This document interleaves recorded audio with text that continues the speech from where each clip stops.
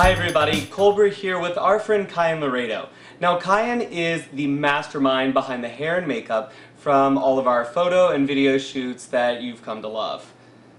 So we asked him to come on with us because we've been getting a lot of questions from our fans about just basic skincare tips. How do we stay looking the way we do? So we decided to bring him on for a little series answering a lot of your guys' questions. So what we want to do is we want to make sure that you put your best face forward. Because this isn't just about the aspiring model, aspiring actor. It's not just for people that make a living by looking pretty or anything like that. In life, putting your best face forward is more than just about working out, it's about your lifestyle, and it's about proper skincare. Because whenever you take care of yourself, you feel better, and you're going to do better in life, and people are really going to notice. And we just want to make sure that you're putting your best face forward and looking and feeling your best. Okay, so once we put out on our web pages that we wanted fans to give us things they wanted advice with, specifically, um, a lot of the things that we got back were things like moisturizing, tanning. Well, and for me especially, dark circles, it's they're a nightmare. Big one. I get shiny a lot, so figuring out things with shine. But probably the most popular one that we got requests for was acne, because we all get the common breakout here and there something we all have to deal with. And you know, it's got a lot to do with diet. What you put into your body comes back out some way. So it really does. And the way that you're okay, so essentially, it breaks down to your diet.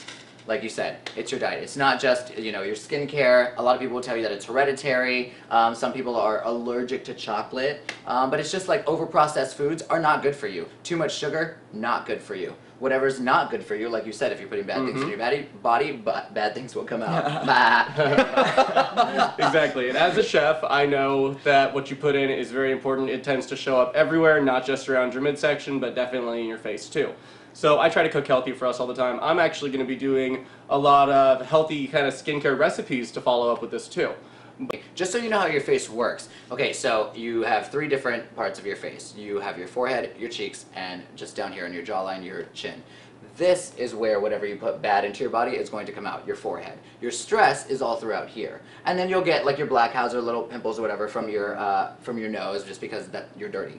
you, you, need to really cleanse proper your face properly. face washing. Proper skincare. Um, and then down here is hormonal. So if you think about it, if you have a full face of acne, you've been eating the wrong things. Boom, there you go.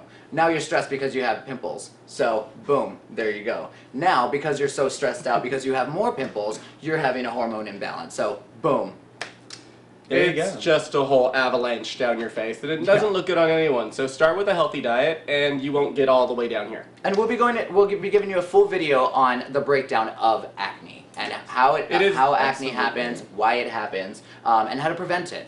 Now, these are the types of things that we're going to be covering in our episodes. How to prevent it, and really explaining where it's coming from. So be sure to stay tuned for Best Face Forward so we can help you be the best you.